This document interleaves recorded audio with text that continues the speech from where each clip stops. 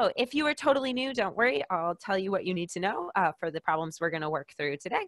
And if you uh, have some GRE experience, the first bit that we do may be a refresher, but you'll definitely get to see some new problems. Um, all the problems we're going to do today are drawn from this book. Uh, it is literally five pounds. Actually, I think it might be a little bit more, like six point something.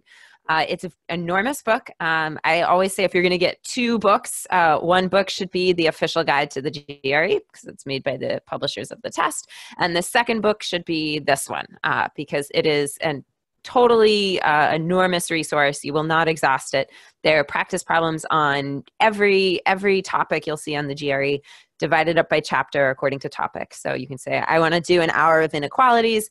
There's a chapter of you know 40 inequalities problems for you to do.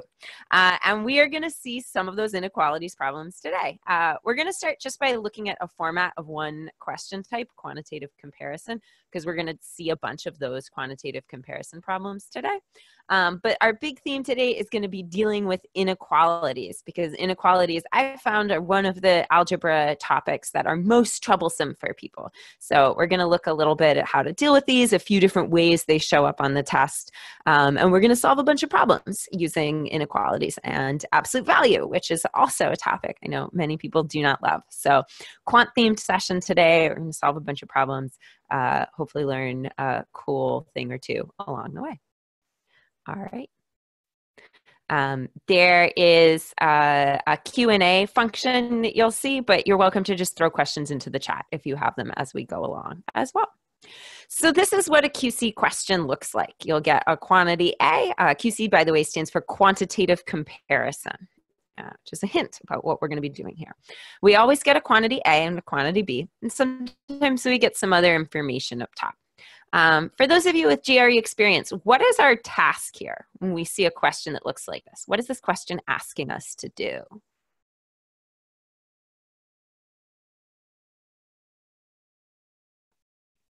Yeah, nice, Chrissy. Find the relationship between A and B. We want to make a comparison. Um, and we'll choose from one of four answers A, B, C, or D. Uh, so we want to say, is one definitely greater? Are they equal? Or maybe we can't tell. Now, if we choose A, B, or C, we want to be certain that that's always the case in every single every single option that we might test out we're always going to get a is greater we're always going to get b is greater we're always going to get that they're equal so a b and c are answers where we are 100% certain if i choose d though i'm saying not just i don't know but there might be two different options like sometimes i try it and i get this one's bigger I try a different number and I get the other ones bigger. So D is our sometimes one way, sometimes another way, where we're looking at two different cases. Okay. So we're gonna we're gonna see a bunch of these QC problems today, um, and we're specifically gonna look at ones that have stuff to do with inequalities and absolute value. So to start, if I see things being compared to zero, uh, like if I see something like x is greater than zero, what is the GRE telling me? What are they? What kind of number is x? Yeah, x is positive.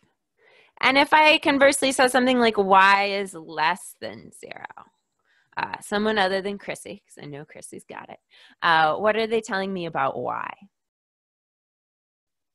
Yeah, nice. Ah, so many people. Cool. Uh, y is negative. Awesome. So when I see comparisons to zero in a GRE problem, I immediately know I'm in the world of positives and negatives. And that's what I want to consider. One thing that helps a lot with these quantitative comparison problems is noticing the right stuff. Because if you notice the right clues in the QC problem, you're all, you're well into solving it. Every problem has clues in it that tell you something about how to solve that problem. So I just want to look at a couple a couple little snippets, uh, not whole problems, and think about what we notice. So let's say I saw something like this: x squared times y is greater than zero what what would you notice here? What would you know about uh, these different elements in this expression? Ooh, yeah. Why is yeah? Why why does y have to be positive? I agree. I'm on board. And I see that this whole thing, x squared times y, is definitely positive. What do I know about x squared? Yeah, so it's not that x itself is necessarily positive, Amy. I don't really know what x is, but I do know that anything squared is always going to be positive, right? Because if x is negative, I'm going to have a negative times a negative that gives me a positive. And if x is positive, then I'll still have a positive. So anything squared, always positive. So that's positive, And then the whole thing has to be positive. I know y is positive too. So as soon as I saw this in a QC problem, I know like, oh, great. I know the sign of X. Um, and given that this is the information the test is giving me, knowing the sign of X is probably going to help me. Now, this is a skill you can train. So if you looked at this and you didn't immediately notice, oh, yeah, Y is positive, no worries. You can practice this. You can put little prompts like this on flashcards, put the prompt on the front, and then put what you want to notice on the back. And you can flip through those just like you'd flip through vocabulary flashcards and you'll be amazed how much faster you get at spotting these types of patterns with just a little bit of practice like that. Let's try let's try another couple. Get a little more complicated. So what about this one on the left here? Let's start with this one, A, B, and C. What do we know about A, B, and C? Amy, why does A have to be negative?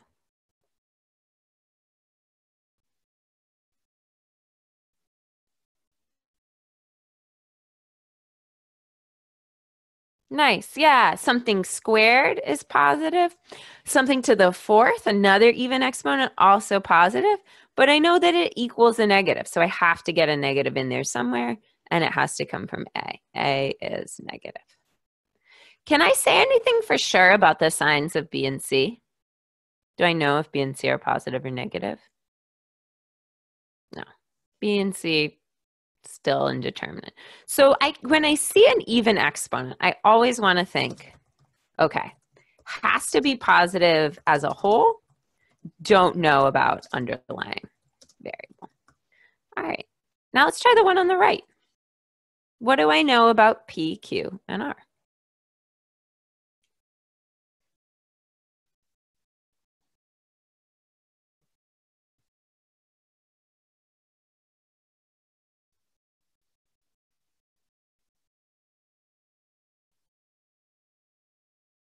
Yeah, I know the whole thing has to be positive. The whole thing is positive. And yeah, I know that q to the fourth is also positive. So what does that mean for p and r?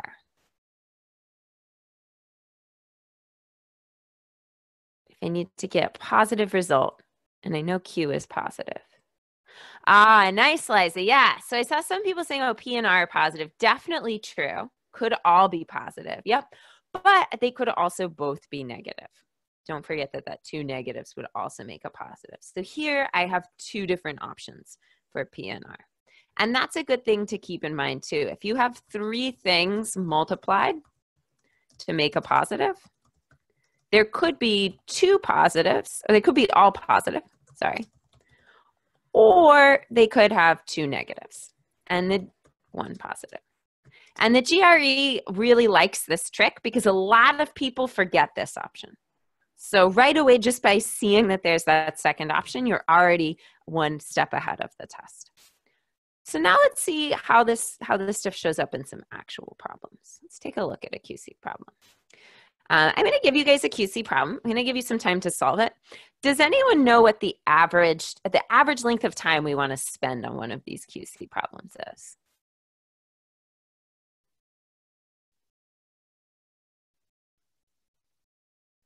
Cool. This is going to be useful. Uh, it's one minute and 15 seconds. Yeah, Danielle, you're close. Uh, so, on average, in a quant problem, um, most quant problems, I want to spend about two minutes on. QC, I can do a little faster, one minute, 15 seconds. So, overall, the average for a quant question does work out to a minute 45 danielle but we kind of we save a little more time for the non-qc questions because we can do qc a little faster I know a bunch of you guys are new though, so I'm not going to make you do this next problem in a minute and 15 seconds. I'm going to give you actually a minute and 45 for this one because it's the first probably one of the first QC some of you guys have done. Um, if you get an answer, don't chat it in yet. Just keep it to yourself. Uh, and then I'll have you guys all chat in at the end of that minute and 45 seconds. All right. Here you go. Try it out.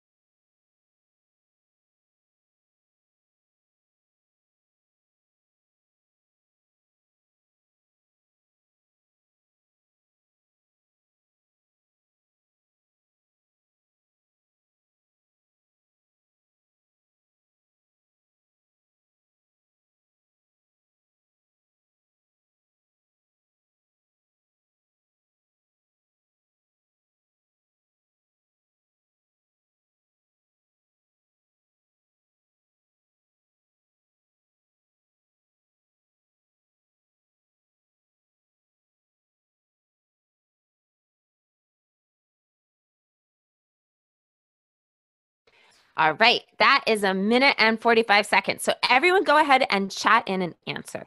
Even if you have to guess, um, being ready to sort of give up, guess, and move on is an important GRE skill. So everyone chat in. If you had to answer this question right now, which answer would you pick? Uh, remembering A means A is always greater, B means B is always greater, C means they're equal, D means they can't, we can't tell. Cool. All right. I threw you guys off the deep end a little bit here. Uh, this one, I actually meant to give you a slightly easier one first, but I uh, accidentally jumped to the harder one. So if this felt like, oh, you got it, that's awesome. This is a tricky problem. Um, how did that timing feel? Like too much time, too little, about right?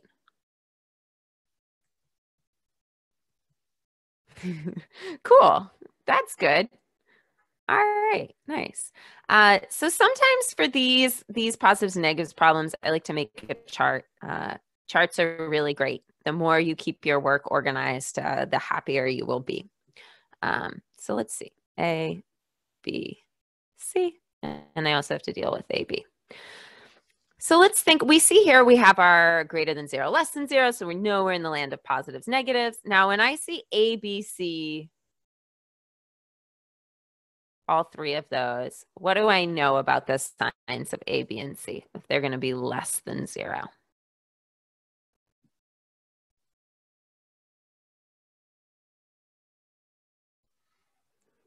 Just looking at this ABC up top. Yeah, I could have one is negative for sure. Like I could have negative, positive, positive, or B could be negative. One of the three could be negative. Um, there's another option too.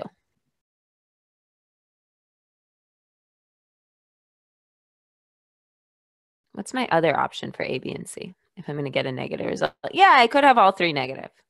So I know I either have this where one is negative or I have this where all three are negative. And I'm not yet sure which one of these three is negative. I'm stuck in A. Could be different. Second piece of info, B squared times C uh, is greater than zero. What do I know here about B and C? Yeah, nice. Because b squared is positive, so that means c also has to be positive. So if I'm thinking about which of these cases I can use, can't use the second case, I have to use this one. Nice. So what do I now know about a times b? If c is positive, what does that mean a times b has to be? Yeah, nice. A times B has to be negative. Awesome. Because I don't necessarily know. Maybe A is negative and B is positive, or maybe it's the other way around. Maybe A is positive and B is negative. Doesn't matter. They're always going to have opposite signs. So AB has to be negative. And the many of you who chose answer choice B were correct. I saw a bunch of people choosing D, and I'm curious what what tripped you up here?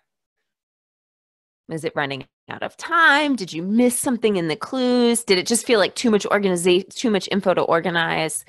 Uh, where where did people run into trouble with this? Don't be shy because mistakes are where we learn cool stuff. Uh, there's nothing more disappointing to me as a teacher than teaching a problem and having everybody get it right because it means maybe we're not going to learn as much interesting as when people get it wrong. Where were the sticky points in this problem? Yeah, the organization for sure. Um, trying to keep all this stuff in your head can really trip you up.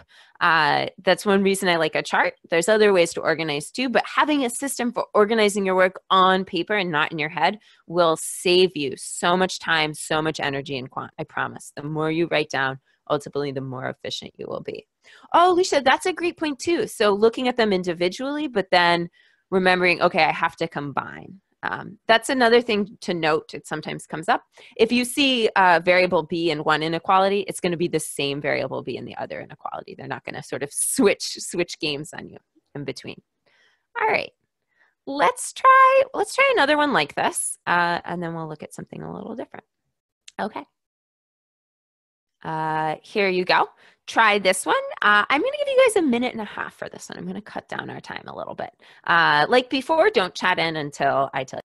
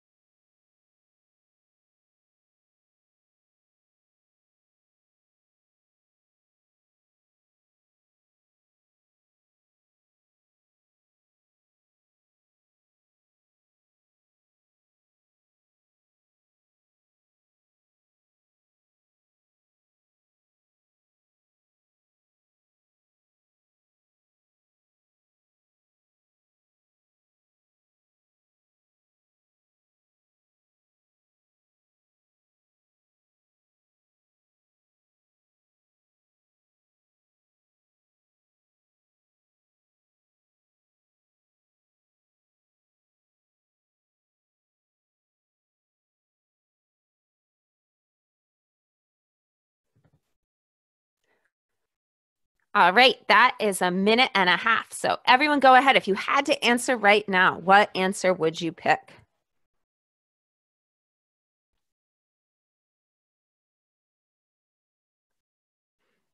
Cool. We are again strong leaning toward B, a couple a couple people pointing toward D as well.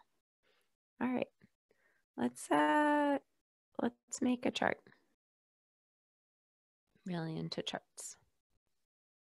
Should have four columns in my chart. All right. Uh, don't have to draw well to do well in the GRE, but you do have to draw something. Keep organized. Okay, so I have A, B, and C, and I'm looking for A times C. A, B greater than zero. What do I know about A and B?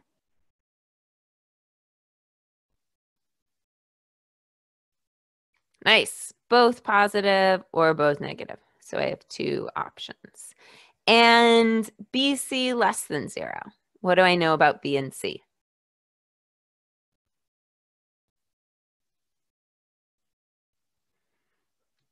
Yeah, one has to be positive, one has to be negative. I have to have a mix. And I don't know which is which. So I could have B as positive, C as negative, or I could have B as negative, C as positive. So what does this tell me about AC? What is the, the product of A and C going to be in both of my cases here? Yeah, it's always going to be negative. So, an interesting thing about this problem is I'm not that certain. I don't know like if A is definitely positive or definitely negative. Same with C. There's still some uncertainty here. I don't actually know what the values of A and C are. Super uncertain about that. But I know enough to make the comparison and say, okay, definitely AC is negative. It's always going to be less than zero. Quantity B is greater. It's an important thing to keep in mind with these QC questions. Um, you don't have to solve them to like a total certainty the way you sort of solve a traditional math problem. You just have to do enough work to make the comparison. That's why we can often do these faster than regular math problems because we don't necessarily have to do as much work if we notice the right things, if we're smart about it. So here we notice, okay, comparisons to positives and negatives. Let's think about it that way. We organize our work and it can be a pretty quick problem. I gave you guys a minute and a half and I got lots and lots of correct answers from many of you. So going super well. What would happen? Did anyone try and pick numbers for A, B, and C here? Did anyone try to do this by testing numbers? How did it go, Brittany?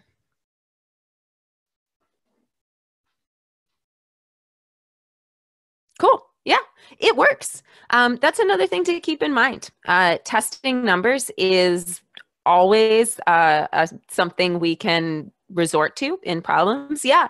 And that's, Brittany, that's awesome. Like using numbers to sort of figure out what the trend is works really, really well. Also, a good approach. And we'll probably see some problems today where that's going to serve you really well as they get more and more complicated. So, totally fine if that's what you're comfortable with, if that's the first strategy that pops to mind, using numbers to try and pick up that trend. Awesome. All right. Let's let's look at something a little different for a moment. Um, I want to talk a little bit about combining inequalities. Inequalities are really just equations um, or they can be manipulated just like equations. Uh, one way to think about it is that both describe relationships. So equations describe a balance. This is a scale. My drawing is terrible. An equation you can think of as describing a balanced relationship. So if you do the same thing to both sides, you keep that relationship the same. Inequalities also describe a fixed relationship. It's just an unequal one. So if you do the same thing to both sides, you keep that unequal relationship the same. And that's what matters. So I can simplify an inequality. Like if I want to know something about x on its own, I can add 3 to both sides here and I get x is greater than 4. The big difference between an inequality and equation obviously is an inequality gives you a range of answers, an equation gives you a single answer. Well, I, I'm not totally sure I understand your question. Are you referring back to the previous problem? And picking numbers.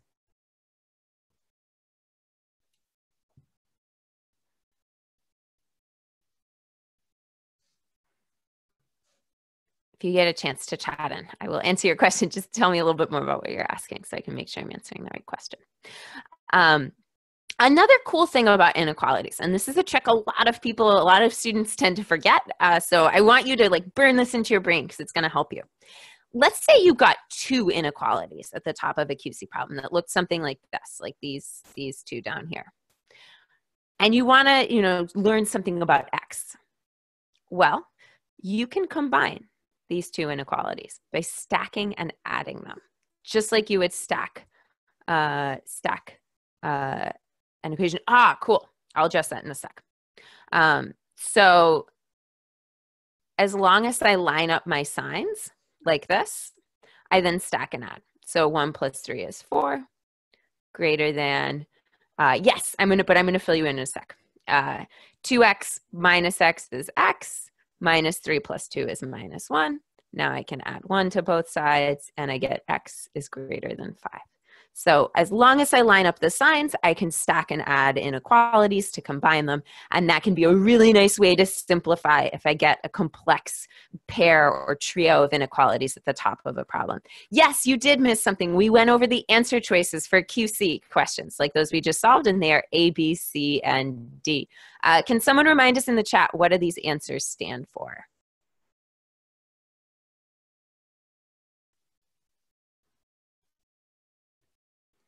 What does answer choice A mean in a QC question? Yeah, A means quantity A is greater, B means quantity B is greater, C means that the two quantities are equal, and D means you can't tell. So those are your four options to choose from. Uh, sorry if you came in a little bit late and missed those, but now, now you have them uh, for our next problem, which is going to involve some inequalities. Here you go. Uh, I'll give you guys a minute and a half to work on this one.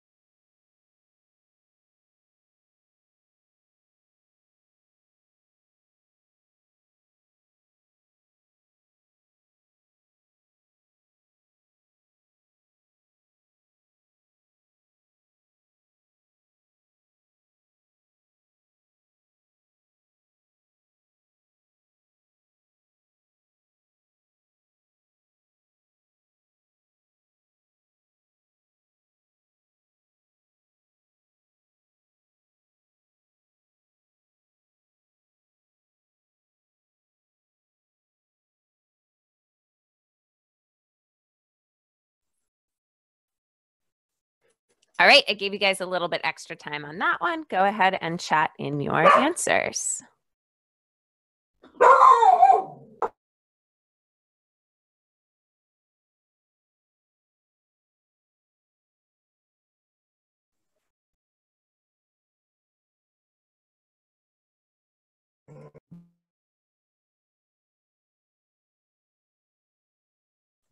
Sorry about that. My roommate came home. My dog got excited. Cool. D.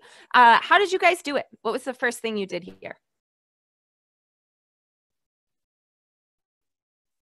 What's our first step? Distribute. Yeah, let's just do some algebra. Yep. We can simplify x, we can simplify y. So we get 3x minus 21 is greater than or equal to 9.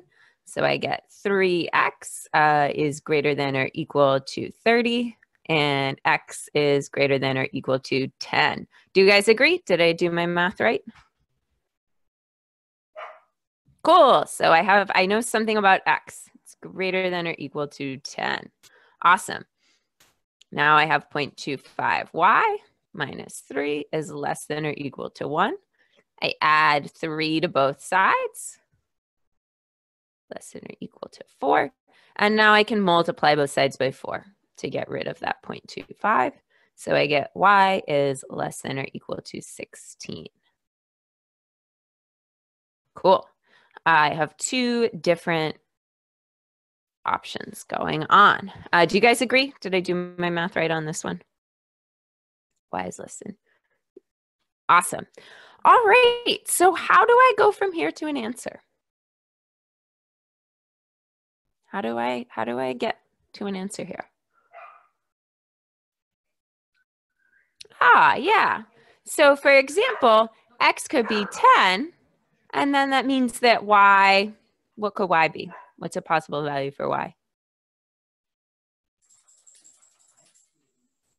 Yeah, y could also be 10. So they could both be equal. Or let's say x is 9 and y is 16. Then quantity b is greater. And I can stop there because they've seen, okay, there's a possible combination of x and y where they're equal. There's a possible combination where one is greater than the other. Could be a possible combination where a is greater too. But as soon as I have those sometimes one way, sometimes another way options, I want to go ahead and choose answer choice D. And that is our answer. Ooh, yeah, Lucia, I like a number line too. That that can be a nice way to visualize inequalities as well. So I could draw my number line and I could say here is 10. So x is going to be less than or equal to 10. All right, sorry, greater than or equal to, ooh, I messed that up, greater than or equal to 10. And y is going to be less than or equal to 16. So I see there's some overlap where they could equal each other or they could diverge. Um, sorry, this should be 11 to make this correct. I did my things opposite. So another good thing to keep in mind if you're stuck with inequalities, drawing them on a number line can help as well. All right, let's try another one. Actually, let's talk about absolute value. Speaking of number lines, so absolute value is when you get these fun, uh, fun things like this. And what it's describing is the distance from zero. So if I said, for example, the absolute value of negative, all right, the absolute value of x equals six. What does that tell me about what x could be? The absolute value of x equals six. Yeah, I could get a positive six or I could get a negative six because they're both, both of these are six away from zero. What if I told you that the absolute value of x was greater than 1. What would that tell you about x?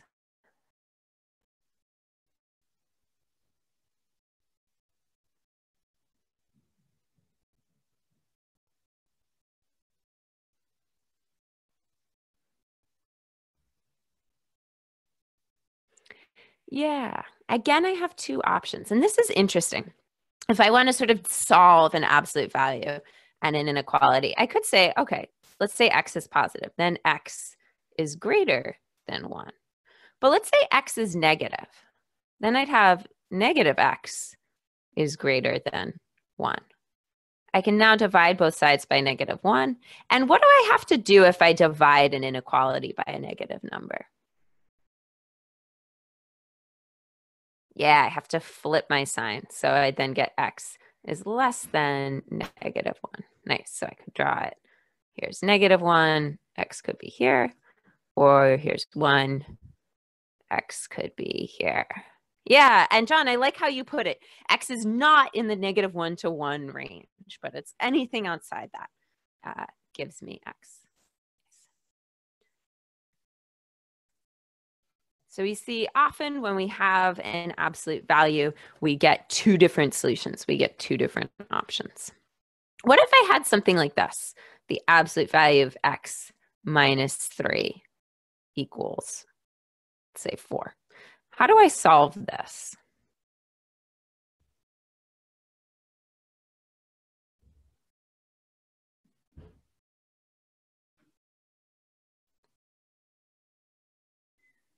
I have the positive option. Yeah, which is x minus 3 equals 4 and then I get x equals 7. What does my negative option look like?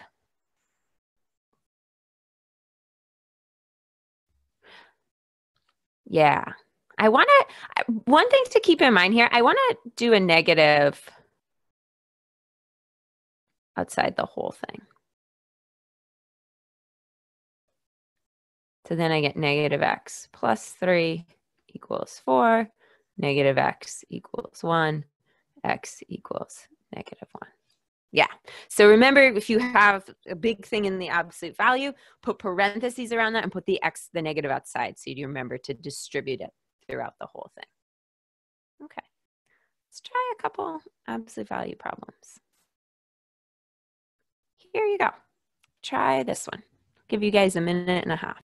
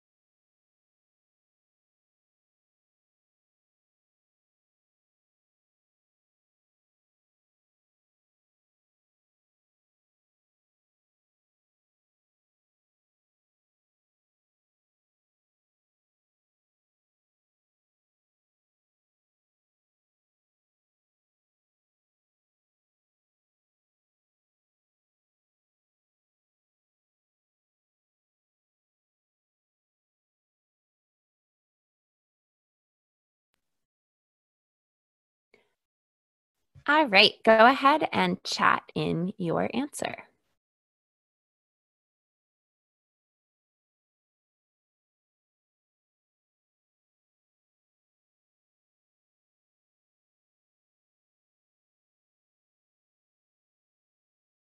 Cool.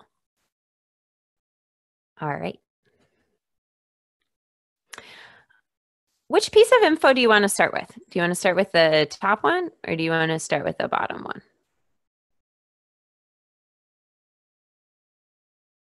Bottom. Okay. What do we learn? I agree. I like I think that's a good one to start with. xy squared is negative, less than 0.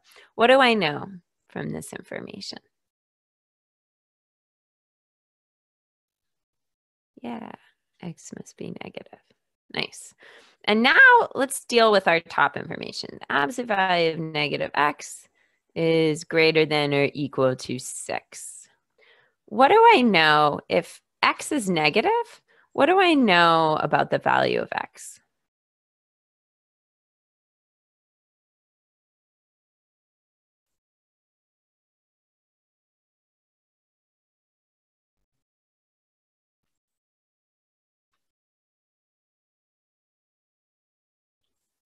So x is greater than 6, it greater than or equal to 6. Does that make sense? Ah, yeah. What what so I can't this could be true if x were positive, but I know it's not. What's my other option? Yeah, x is less than or equal to negative 6. I have to go with the reverse. So x is less than or equal to negative 6. Nice. Uh, why did you guys choose D?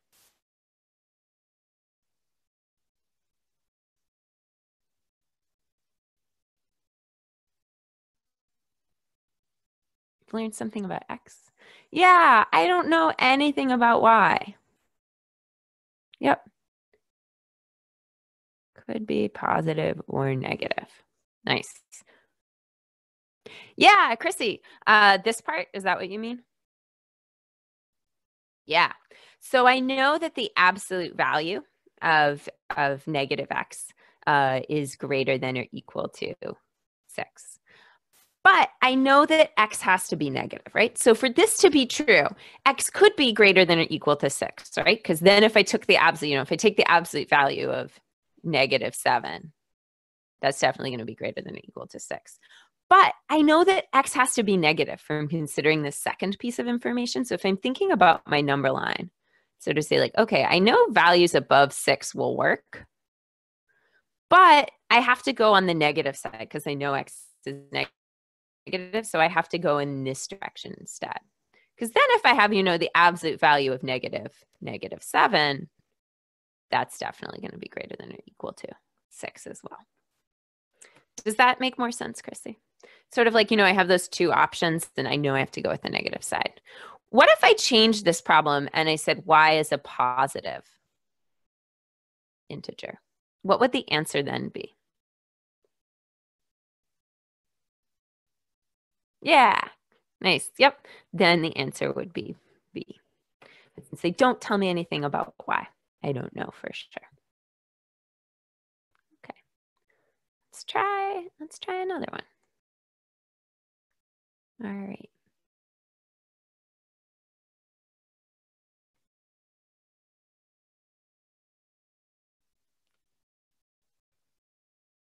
Let's try this one. Here you go. Give you a minute and a half again.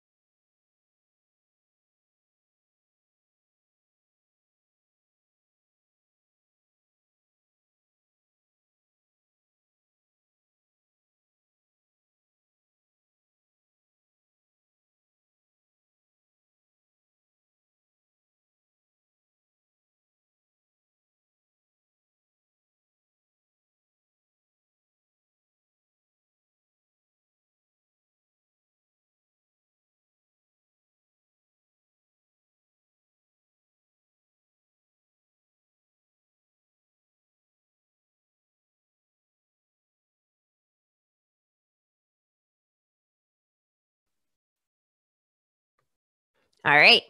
Uh, this is a tricky one. I gave you guys a little extra time. Go ahead and chat in your negative, uh, chat in your uh, chat in your answer.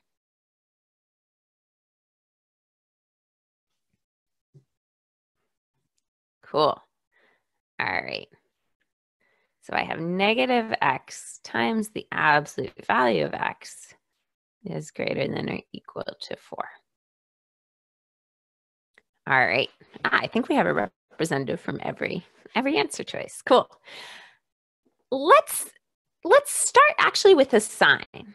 Let's start with this question. Is x positive or negative? Or could it be both? What do you guys think?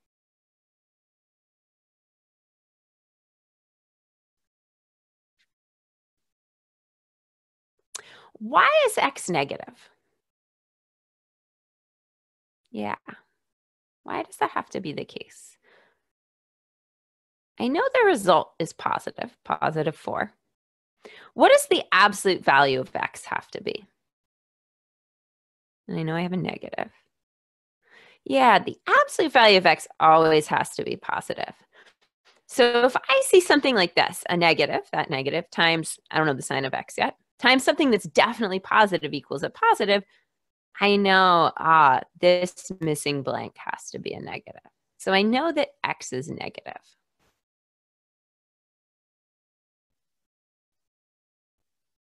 All right, so let's think about that.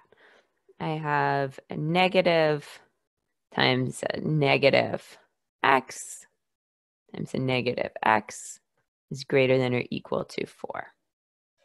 Now I can go ahead and solve. So negative x times negative x, that just gives me x squared. So I have negative x squared greater than or equal to 4. The x squared has to be less than or equal to negative 4. Or I'm not going to write this. x, x times x has to be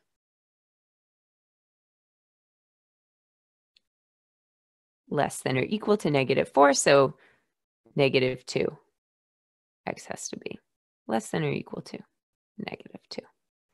So it's definitely going to be less than my positive 2. Sorry, that scratch work on that second one was a little messy. Uh, the answer here is in fact B. But questions, I feel like I, I my scratch work got a little messy at the end there. Did people follow that? Or should we walk through some of that again? Why I know X has to be less than 2. Yeah. Let's let's do it again. Let's do a simpler way actually.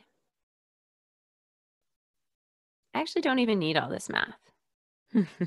sometimes you get lucky, Danielle, and it's great when that happens. Uh, sometimes we get the right answer the wrong way, or we guess and we get the right answer. This is a good thing to keep in mind about the GRE. It doesn't matter how you get there as long as you get to the right place. So I actually, I actually can stop at this point. This is enough for me. Um, so let's think this through. I have negative x times the absolute value of x is less than or equal to, is greater than or equal to 4. Now I know, let's say, let's actually try it this way. Let's say I divide this whole thing by a negative. I get x times the absolute value of x is less than or equal to negative 4. Let's look at it this way. So I'm going to just get rid of that negative sign by dividing both sides by negative 1. Now, I know that this part, the absolute value of x, all absolute values are positive. They're always giving me positive results. So I know that has to be a positive. But if I want to get a negative product, I then know that x has to be a negative. And then that's going to multiply together to give me something that's also negative. And at this point, once I know x is negative, I know it definitely has to be less than 2.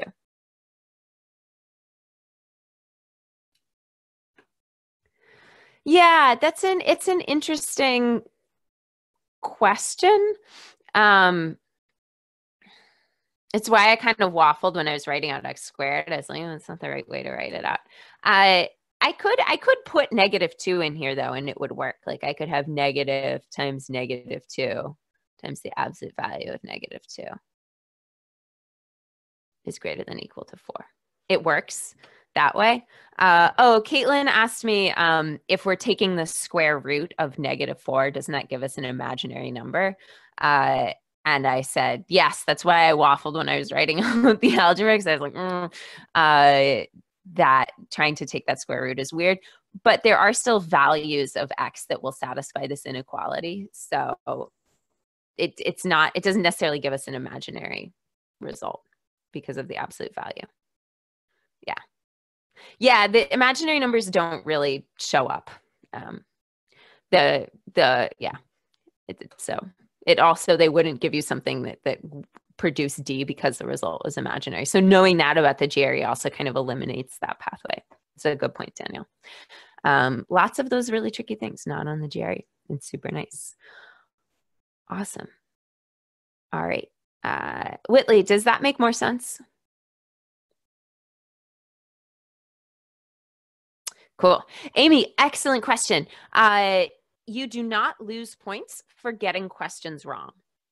So it is often a good idea particularly when you see a really hard problem to say like oh i'm gonna i'm gonna skip this and uh, i'm gonna go on for the sake of time. But you should always fill in a guess because you won't lose points for guessing and you might gain points. So yes being ready to sort of say like oh i'm just gonna move on from this problem quickly get my points elsewhere is a good strategy but do fill in a guess if you're gonna skip a problem. It's a really good question really important core strategy. Okay let's try let's try a couple of kind of tricky ones. Uh, I want to do one problem that's not QC, just so we get to see kind of what that looks like. So here is our question. I'll give you guys two minutes to work on this, but I just want to point out one thing, which is this problem asks you to indicate all that are true. And I see these little square boxes next to the answers. And those square boxes are always an extra hint that I can select more than one. So one, two, or all three of these options could be true. Um, let's call them, I'm going to put letters next to them just so people are able to answer. But go ahead and start working.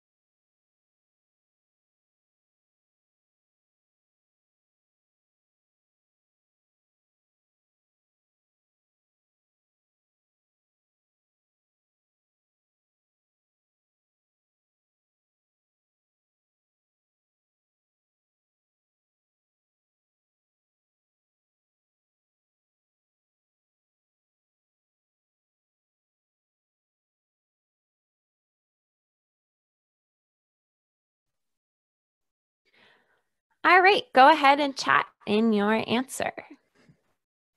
Which of these would you pick?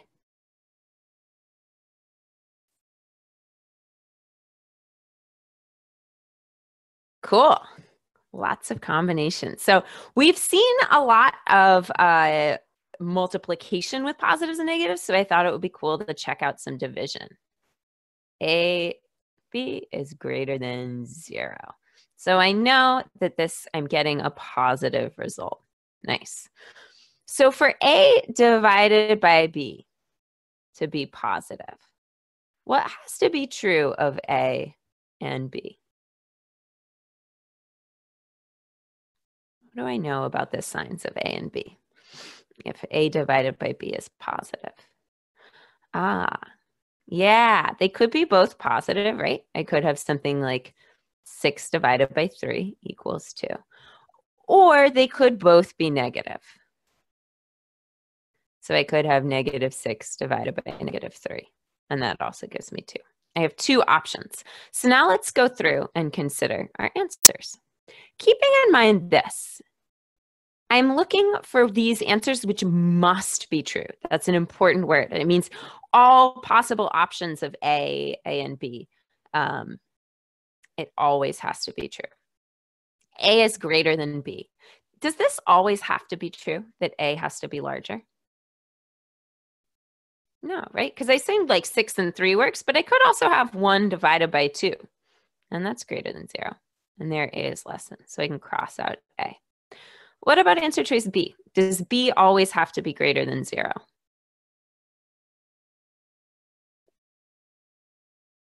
What do you guys think?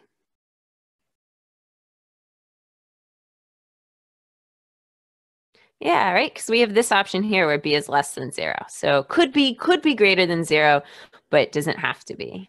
Yeah. What about a times b? Is that always going to be positive? Yeah. Because I could have a positive times the positive. That's obviously positive. Or I could have a negative times a negative. And that's also always going to be positive. So my answer is C.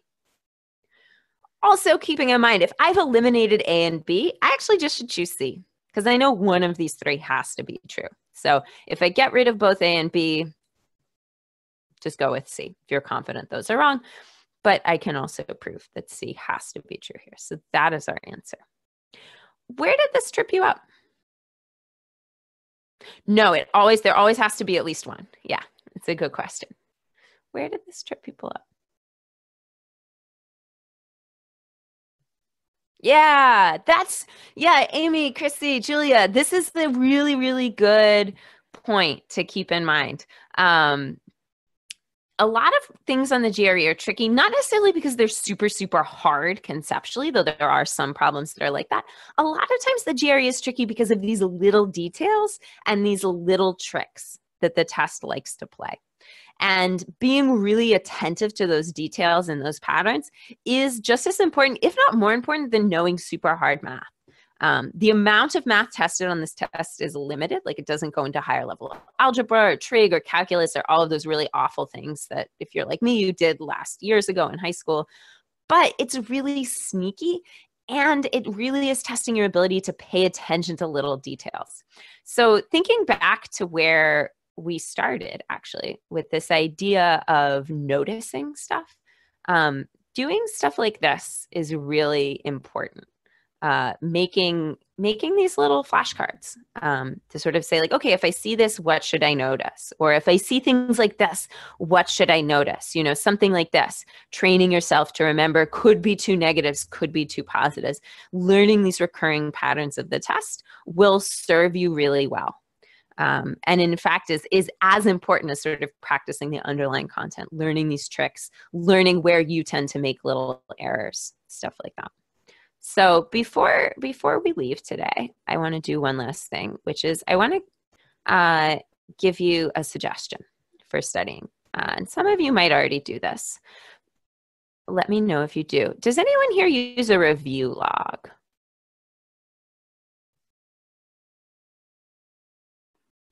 Yeah, Chrissy. Uh, how is it helpful, Chrissy? How do you use it? Maybe an error log.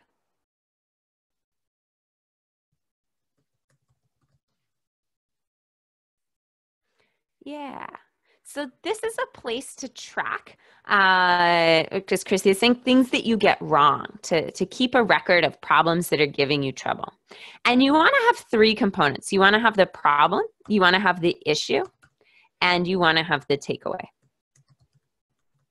So for that last problem uh, that we just did, let's say, okay, it was a QC problem with positives and negatives, and maybe the issue is you forgot two negatives. And so you want your then takeaway to be pay attention to hidden negatives. So you're anytime you get a problem wrong, you are noting why you got it wrong. And then you're noting what you're going to do differently the next time, what you're going to change in your behavior. This way, it's it's forcing you, as Chrissy says, to keep track, to go back to problems that you've missed, but you'll also start to notice patterns. And if there's one thing today, it's probably recognizing patterns is going to make you way more efficient and way more accurate on the GRE. And this is a, a really powerful tool for doing that. So if you take only one thing away from today, take this. Go out, start an error log, track the things you're getting wrong. Um, you'll probably notice you make the same types of errors repeatedly, and that's good news. It means if you correct that pattern, you'll get a whole bunch of more problems correct. All right. Uh, thank you for for being here this afternoon uh, or evening, depending on where you are. Uh, have a great Sunday night. Um, if you are at the start of your studying, uh, you can also take a free class with us, the first session of one of our courses for free. Um, you can find it on our website. It's a great way to keep getting acquainted with the test. Uh, best of luck as you study. Uh, take care.